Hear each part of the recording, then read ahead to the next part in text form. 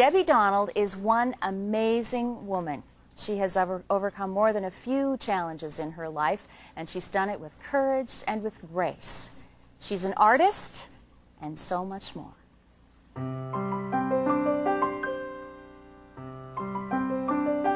Painting is very important to me. It gives me a sense of self-worth and self-esteem. And I would never have dreamt years ago when I first started it looked like kindergarten work that I could do what I'm doing today. Hey.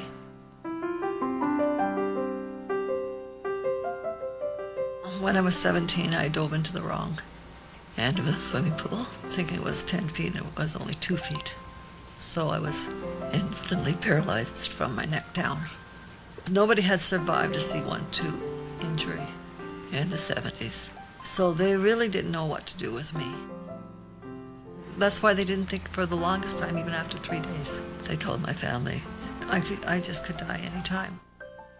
And I started to get better and this seemed like I was going to live. The, the doctor said, well, you know, here's a TV, be happy sort of thing. I'm not a TV person. And uh, I thought there's got to be more to life than watching television. So I had my sister put a pen in my mouth and uh, I started signing thank you cards and, and I would draw little mice in the corner. And I sent one to my doctor and he said, she could do something, wow. So I knew a friend that had mentioned about the Association of Mouth Painting Artists, and so I applied for a scholarship with them. I had a special easel, easel design for me, and uh, um, I paint with uh, a brush in my mouth. Uh, right now, I rely on volunteers a lot to help me with uh, holding the palette. I mix the colors myself. And of course, I do the painting myself the association has now taken my my um, recreation, which is still my recreation, and turned it into a livelihood for me. And that's very important to me because now I feel a part of society, not a burden on society.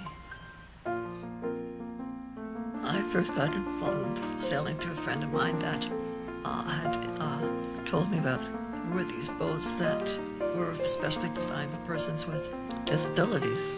My first question was, could it capsize? That was my main concern, am I going to end up in the lake? For somebody with my disability, we have what's called the AutoHelm windlass SIPA system. The AutoHelm has to go back what it does, it allows me to sail the boat myself. I sit. And it moves the rudder, going to starboard, which is right. Up the other way, port is left. Light down. A little bit, not much. That'll bring the sails. Sip, bring the sails in. Roll, the sails will look. I'm now president of, of the Sailing Club, and, and it's my goal important goal to me is to make sailing available for everybody with disabilities. Just being able to get out of your wheelchair and into a boat. Nobody knows that you're disabled out there. The boat, ironically, that I sailed the most the first year I started sailing was named Freedom. And I thought how appropriate because it just, you feel limitless out there, like there's nothing you can't do and you just feel just free.